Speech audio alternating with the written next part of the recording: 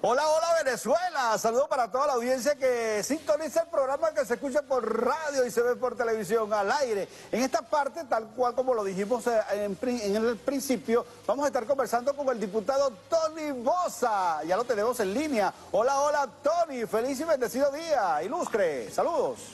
Hola, hola, hola Venezuela. Saludos hermano. Un gran placer estar en tu programa y con Dair, por supuesto. Un abrazo a todos. Eso. Saludos. Diputado, gracias por acompañarnos. Bienvenido a este espacio. Además, entrar en materia con el tema económico que siempre es tan polémico y que además se han presentado una serie de propuestas de diferentes sectores, de diferentes economistas para buscar soluciones y mejorar la situación económica del país. Y justo vamos por allí, diputado. Ahora le consultamos a usted, ¿es la indexación de salarios una solución eh, económica en este momento? Sí, no, efectivamente. Fíjate, Dair y Pedro, la indexación no es algo que inventemos nosotros, no es algo que se inventó en Venezuela. Es una experiencia que se ha dado en diferentes países, de hecho, de, las, de los 38 países donde han sucedido las 56 hiperinflaciones, la indexación ha sido el mecanismo más eficaz para poder, en primer lugar, hay que entender que lo primero que hace la indexación es detener el deterioro de los factores que se amarran a la indexación. Puede ser el salario, puede ser el presupuesto público, pueden ser los tributos. De hecho, en Venezuela ya hay varias experiencias de indexación que es importante revisarlas para que veamos que el mecanismo no solamente es válido de aplicarse en una economía hiperinflacionaria como la nuestra, que por cierto es una hiperinflación inducida que ha sido generada por todas las medidas coercitivas que hay contra la patria, a pesar de que hay un gobierno progresista, humanista, que ha hecho todos los esfuerzos por proteger al trabajador, por proteger a la familia venezolana, sin embargo, bueno, el nivel de la agresión contra el país es muy alto y por eso nosotros estamos planteando con suficiente soporte teórico, con suficientes argumentos de, tipo científico, que la indexación es aplicable. ¿Con dificultades? Por supuesto que con dificultades, pero la indexación es un mecanismo muy idóneo, muy válido y estamos poniéndolo precisamente al debate. Nosotros no estamos diciendo que tenemos la verdad, estamos diciendo que queremos debatir. Exacto. Diputado, ¿cómo se aplica la indexación en, en momentos donde hay sanciones? Bueno, fíjate, la indexación opera hacia dentro de un país, es decir, no toca directamente el sector externo, o sea, no tiene que ver con las relaciones con otros países, aunque de manera tangencial también tiene afectación. La indexación tiene que ver con el deterioro de la moneda local, en este caso nuestro bolívar. ¿Qué hacemos nosotros? Nosotros proponemos, atemos el salario, ahí están sonando las campanas de la Catedral de Caracas, estamos proponiendo atemos el salario, anclemos el salario al petro, pero no al petro que circula con distintos valores, sino al petro con un valor fijo, nominal, como, como unidad de cuenta, que permita que el salario, por ejemplo, pongamos el nivel actual del salario, que puede estar equivalente, no sé, a 3 dólares. Bueno, nosotros anclamos ese, ese, ese salario al petro y el petro las divisas, al yuan, al, al euro, al dólar, de tal manera de que todos los cambios que sucedan en la inflación no afecten el salario, detiene la caída, detiene el deterioro de la capacidad adquisitiva del salario. Pero no solamente el salario, estamos planteando también los tributos, de manera que el Estado tenga capacidad de respuesta, y estamos también planteando el presupuesto público, porque recordemos, Dair y Pedro, que el presupuesto se calcula en noviembre, octubre, noviembre de cada año, se aprueba la primera semana de diciembre por lo general, pero empieza a ejecutarse en el mes de enero de febrero ya para ese entonces, cuando pasan dos, tres meses, ya el presupuesto no vale ni siquiera la mitad de lo que valía en el momento que fue calculado. Por eso que el proceso indexatorio que estamos proponiendo involucra, en primer lugar, esos tres factores. Salario de la administración pública, pensionados, sistema tributario y presupuesto público.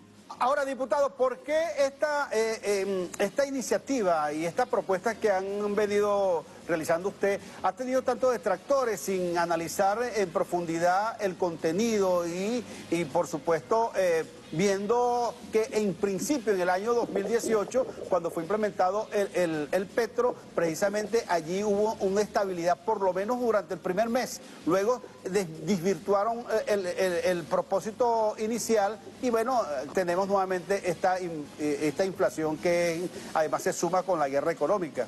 ¿Por qué no se debate seriamente estas propuestas? Bueno, fíjate, Pedro, esa pregunta es fundamental. Todo proceso que tiene que ver con medidas públicas, de políticas públicas, y en este caso, el que estamos hablando de la indexación, tiene por lo menos tres fases. La primera es la investigación. Nos hemos dedicado a un, grupo importante de economistas venezolanos, donde está la doctora Pascualina Curcio, donde está el compañero Juan Carlos Valdés. Incluso tenemos también los aportes muy densos, muy sólidos que ha hecho el diputado Rodolfo Sanz. Y, eh, y hemos creado un cuerpo de propuestas sustentado en análisis políticos, económicos, históricos, de tal manera que esa es la primera fase, la investigación para poder hacer la propuesta. La segunda fase es el debate. Ninguna propuesta se va a aplicar por parte del Poder Ejecutivo si no ha sido debatido, si no ha sido configurado la perspectiva, es decir, cuál sería el impacto en la finanza, cuál sería el impacto en la economía. Y esa es la parte que estamos proponiendo que se abra. Y la tercera fase es la aplicación de las medidas. Nosotros estamos pidiendo que se debate el tema. Incluso la casa del debate, la casa que está llamada a hacer el debate es la Asamblea Nacional. Esa es la razón de ser de cualquier cuerpo legislativo. No solamente discutir leyes. En, un, en una Asamblea Nacional no solamente se discuten leyes, se discuten también resoluciones, se, se discuten acuerdos, se debaten temas públicos de interés nacional y yo creo que nadie puede negar que el tema del salario es un tema de interés nacional. Incluso lo digo con mucha propiedad y con mucha humildad. Esto no depende de Tony Bosso, esto no depende de Juan Carlos Valdés, ni de Pascualina Curcio, ni de Rodolfo Sanz.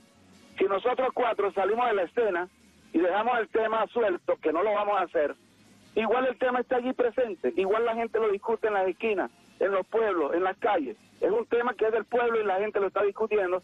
La Asamblea Nacional tiene el deber de discutirlo también. Ahora, diputados, ¿tienen, eh, eh, no tienen ningún tipo de problema que sectores, aún no siendo chavistas, es decir, sectores eh, económicos que no coincidan con los principios revolucionarios, puedan participar en estos debates, puedan atraer estos debates? El presidente ha llamado un debate al tema económico, donde deberían participar todas las fuerzas vivas del país. ¿Hay posibilidades sí, por supuesto. Sí, por supuesto. El presidente ha hecho un llamado muy claro no solamente ha hecho un llamado, también ha creído en la propuesta indexatoria. Fíjate que lo aplicó lo que tiene que ver con las prestaciones sociales. El presidente fue muy claro. Las prestaciones sociales de los venezolanos en este momento están amparados con un mecanismo indexatorio. Ya lo dijo el mismo presidente. Ahora el presidente llamó a un diálogo, llamó a un debate. Lo primero que hay que decirlo de forma clara y contundente es que la solución a este problema no va a venir de ningún sector distinto a la revolución. Es decir, Solo el gobierno revolucionario, comprometido con la clase trabajadora, es el único actor que puede de verdad tomar decisiones, impulsar políticas, porque están dentro del espíritu de la revolución. No va a venir la derecha a resolver este problema, pero por supuesto, están invitados todos los sectores. El presidente ha sido muy claro.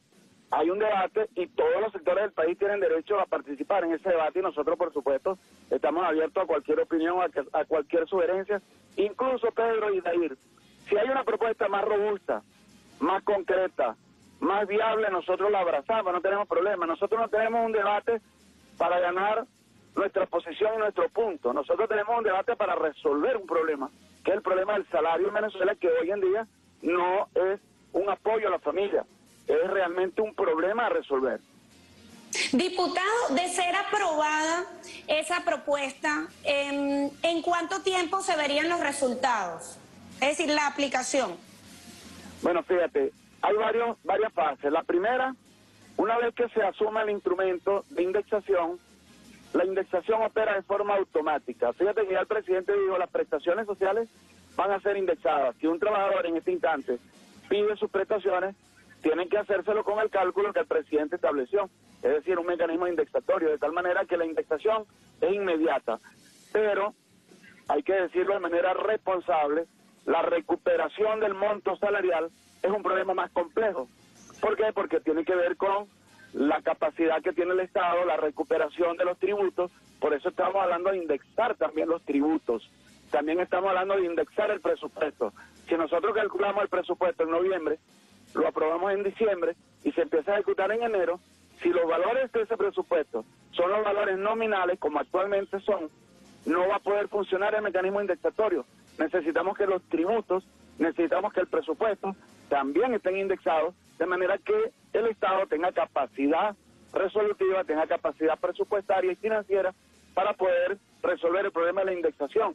Ese mecanismo es un poco más complicado para poder reponer los montos históricos que ha ganado el venezolano. Que bueno, ahí están las cifras en el Banco Central. El venezolano llegó a ganar 400 hasta 450 dólares.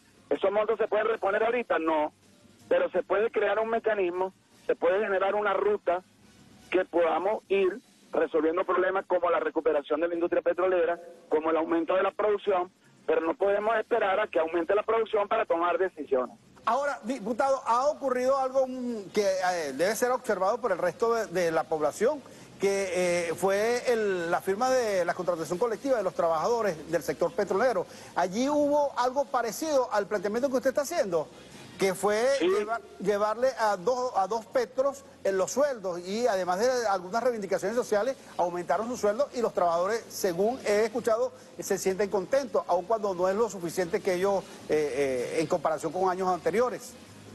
Sí, eso es correcto. Fíjate que el presidente ha tomado esta iniciativa de manera muy inteligente. La convención petrolera es un caso que debe ser estudiado por todos los venezolanos, porque si bien es cierto, el salario además de las bonificaciones y otros conceptos contractuales, configuran un patrón allí indexatorio que ha llevado el salario de los trabajadores petroleros a un nivel aceptable. No es el óptimo, pero también tiene que ver con que podamos recuperar la industria, podamos tener mayores capacidades, podamos tener ingresos de divisas, pero fíjate que ya se están tomando decisiones, no estamos esperando que la producción aumente, porque además hay un falso criterio sobre la producción. La producción es un ente vivo, en este instante, en este mismo minuto, en este mismo segundo que estamos hablando, hay distintas áreas de la producción que están reiniciando su ciclo productivo. Cada área de producción tiene un ciclo distinto. Hay áreas de producción cuyo ciclo es una semana, hay otro que es un mes, hay otro que son siete meses. De tal manera que no podemos esperar un quantum de la producción para aplicar un mecanismo correctivo como la indexación, sino hay que hacerlo inmediatamente. Y luego ir poco a poco con un cronograma serio, viable, debatido en todas las instancias, ir progresivamente recuperando los montos del salario que permitan al venezolano recuperar su capacidad adquisitiva y sobre todo teniendo claro que tenemos un gobierno revolucionario que está conteste a la realidad del pueblo, que está, que está, que ha demostrado históricamente su capacidad de reconocer todas las, todas las debilidades que el pueblo pueda tener y por supuesto actúa en función de fortalecer esas capacidades del pueblo implementado esta indexación de los, de los sueldos, indexar los sueldos? Sí, lo primero que se tiene que hacer es indexar los sueldos. Fíjate que el presidente ya lo está haciendo. Ah, pero ya lo hizo con la Convención Petrolera. Además, Pedro, hay unos antecedentes. El Tribunal Supremo de Justicia, en la sentencia 517 del año 2018, de la sala de la sala de casación ¿Me escuchan? Perfecto. Sí, sí, escuchamos. Ajá, sí, está bueno, fíjate, el Tribunal Supremo de Justicia creó un precedente en el año 2018 donde las deudas entre privados, entre particulares, en el momento de ser canceladas, no van a ser canceladas al monto que inicialmente se estableció, sino que van a ser canceladas con un mecanismo indexatorio. La banca comercial, el propio Banco Central, el 19 de enero de este año, creó una unidad de valor de crédito que hace que los, que los créditos estén indexados. Por tanto, hay un reconocimiento formal, tanto del Tribunal Supremo como del Banco Central de Venezuela, de que el mecanismo indexatorio es un mecanismo válido, aplicable. Ya se está aplicando a los créditos de la banca comercial, ya se está aplicando a las deudas entre privados, ya se está aplicando en la convención petrolera y ya se está aplicando en las prestaciones sociales. ¿Qué es lo que tenemos que hacer? Dar el debate, ver la viabilidad de nuestra propuesta ver la fortaleza y debilidad que pueda tener y no tenerle miedo al debate. El pueblo está pidiendo el debate, nosotros estamos en disposición de hacer el debate. Vamos a hacer un debate con todos los trabajadores, vamos a hacer de este debate todo un proceso nacional y vamos a involucrar a todos los sectores para sacar una solución a este problema. Diputado, ¿me escucha? Le escucho perfectamente. Ah, perfecto, porque ah, perdí un momentito el audio y yo le voy a formular una pregunta que no sé si la, logró responder en estos últimos minutos. Pero ¿cuál debería ser, según eh, la situación política y económica del país, cuál debería ser el salario mínimo en este momento? Bueno, fíjate, hay un mecanismo que establece la Constitución en el artículo 91 y que por supuesto para llegar a él hay que hacer una ruta, hay que hacer un cronograma fiable, con los pies en la tierra. Pero en, en, el, en la propia Constitución dice que el salario tiene que cubrir la, la, la, la cesta básica, que es el doble de la cesta alimentaria. Hay un cálculo que el Banco Central lo hace sobre cuál es el valor actual real, en valores reales en la economía, por cuánto se puede adquirir una cesta alimentaria, tú multiplicas esa cantidad por dos y eso te da la cesta básica.